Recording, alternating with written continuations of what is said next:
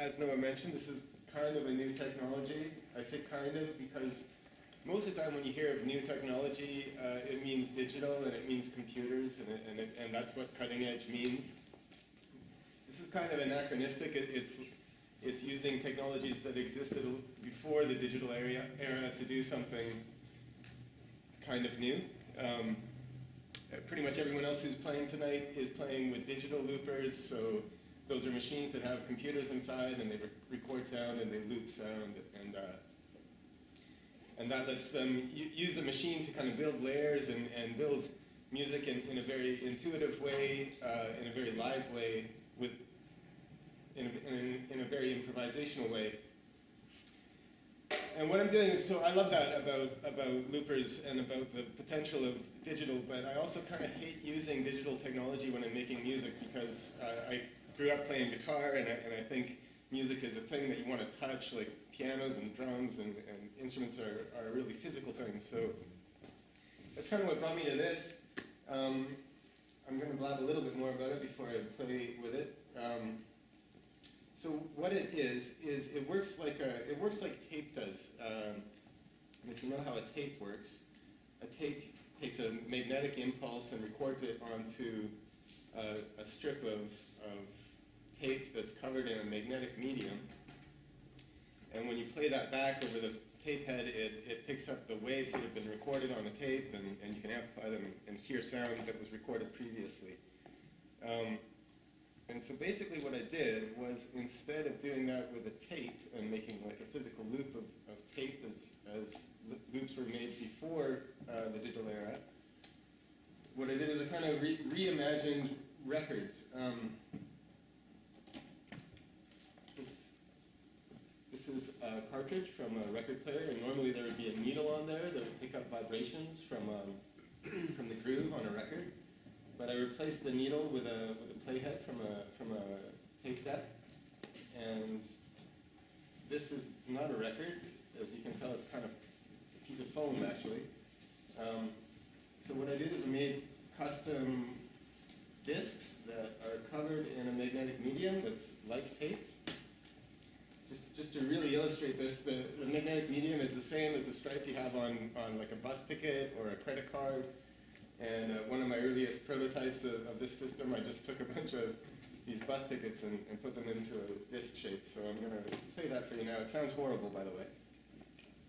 It's not musical at all, but just to kind of prove the point, you'll, you'll get what's happening here. So that's what it sounds like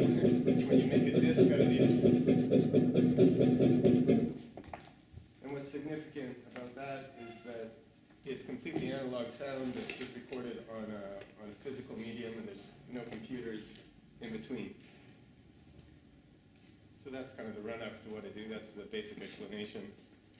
Um, what I have here is a synthesizer, and so I'm going to be recording some sounds from the synthesizer onto the disc and playing them back and just kind of playing with that. Uh, this is a totally new thing for me, and, and over the last year I've been focused on kind of making the technology of it work, so I don't really have songs or anything. It, it's completely improvised, and um, that's about all I'm going to do for, for talking right now, and I'm just going to play with it for a bit and see what happens.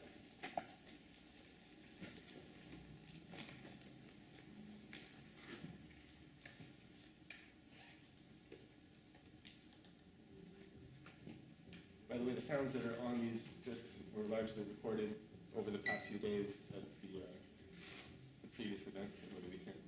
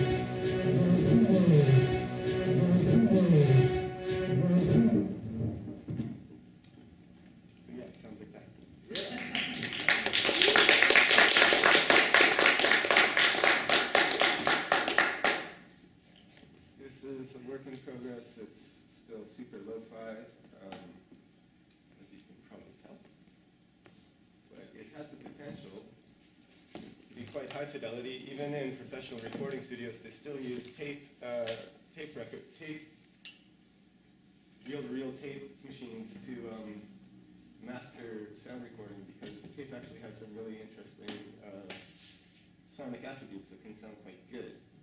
But I'm not quite there yet.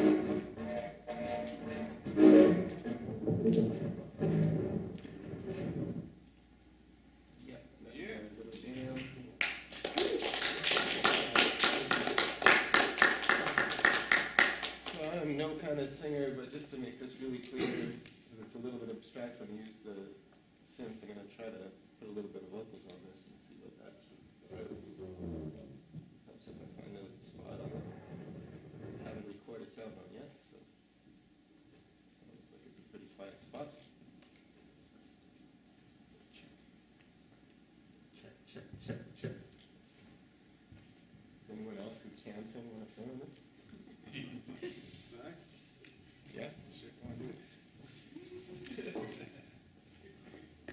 It'll be better if. Just, uh, just give it like a tone to begin with.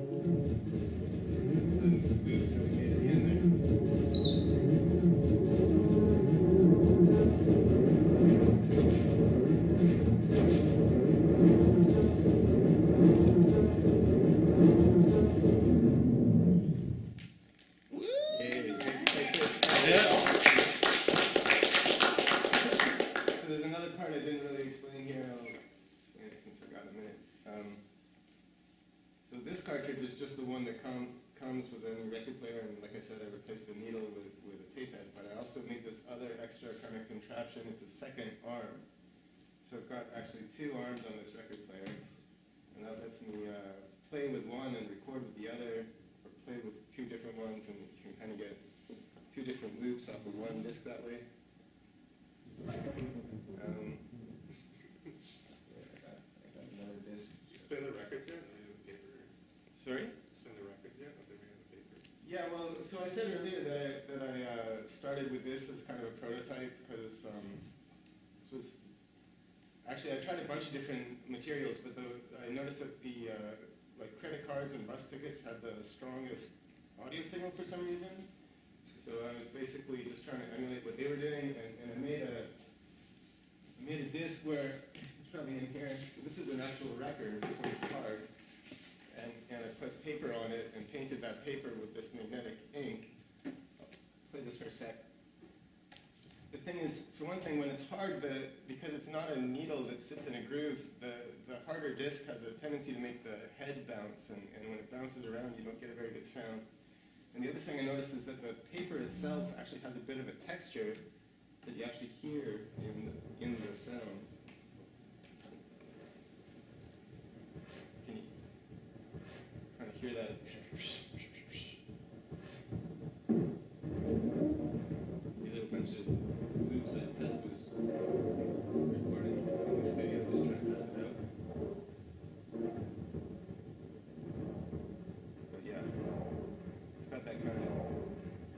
hissy, crackly sound. And I tried a bunch of different materials, and, these these that are, that are the best that I found so far. These are actually some placemats I got at the dollar store. and then I don't think I explained this part because this is kind of funny to me too. Um, I did a bunch of research online to find out how they actually make this magnetic, magnetic ink, and I made like my own concoction and, and was surprised that, that it worked. But then I was at the art supply store looking at the ingredients of paint, and it turns out most black paint has the same stuff in it. So this is just a dollar store placemat painted with black paint. and it works as, as, a, as a magnetic medium, you can record sound to it.